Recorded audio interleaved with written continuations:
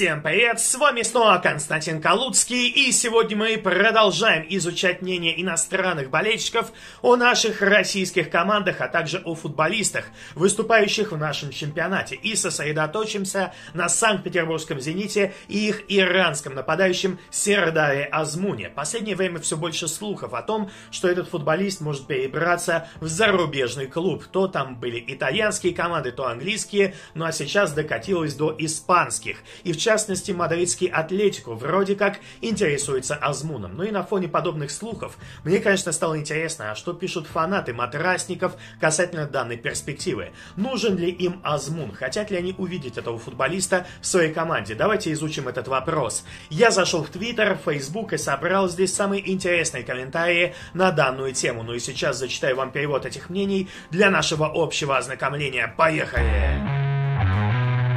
Хочу напомнить вам, что мои друзья создали телеграм-канал, в котором публикуют бесплатные прогнозы на спорт и помогают зарабатывать на ставках. Все открыто и честно. А самое главное, по статистике, проходимость прогнозов более 90%. Так что, не теряя ни минуты, заходите в телеграм-канал, ссылка в описании.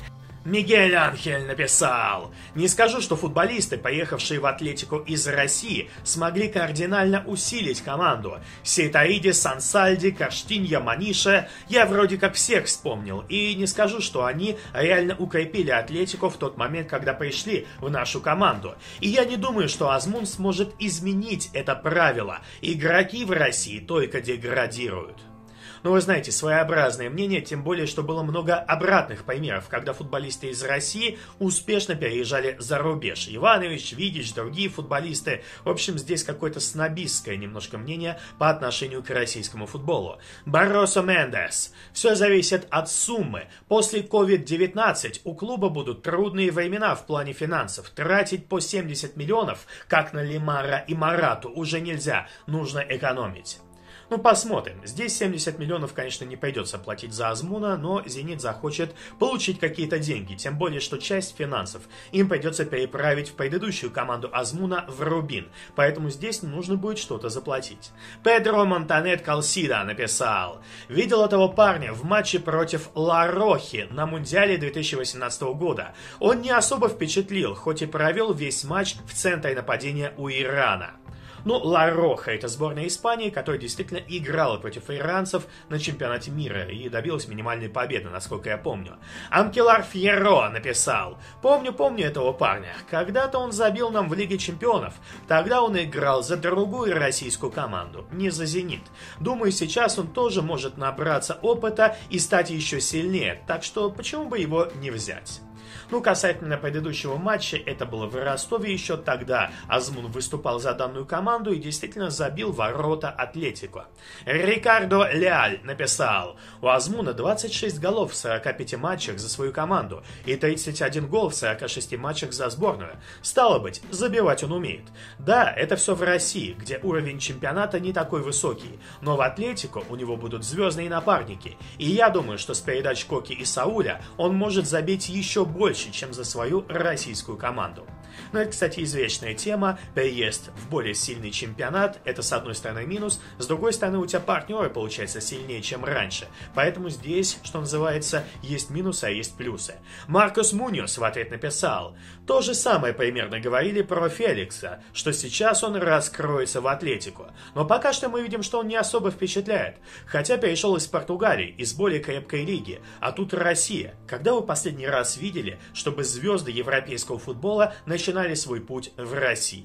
Ну, тоже такой актуальный вопрос, здесь можно поспорить, но в целом в последнее время все меньше таких игроков, которые бывали в России, которые выступали здесь и которые дальше становились мировыми звездами. Хавер Дель Пай написал, вместо того, чтобы подписать одного Кейна за 200 миллионов, мы лучше подпишем кучу нападающих за те же самые 200 миллионов и будем надеяться, что хотя бы кто-то из них заиграет.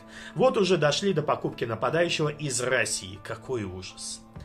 Но это уже касательно трансферной политики Атлетико. Мария Серрано Бонилья написала, «Я смотрю все матчи Атлетико и сборной, но этот парень вообще не запомнился ни по матчам чемпионата мира, где играл против сборной Испании, ни по матчам Лиги чемпионов против Атлетико. Так что у него были либо неудачные дни, либо он сам по себе средненький футболист».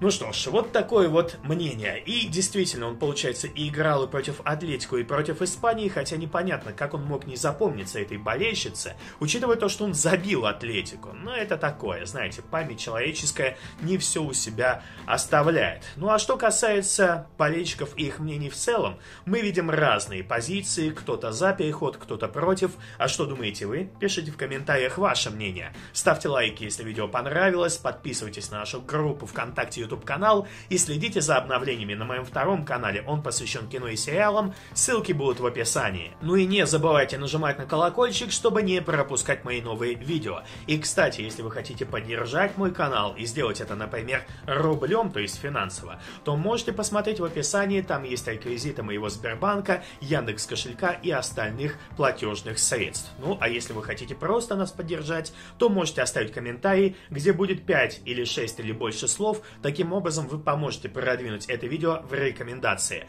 Главное, чтобы там было побольше 5-6 слов, тогда все будет отлично. В общем, всем удачи, всем пока, спасибо за внимание.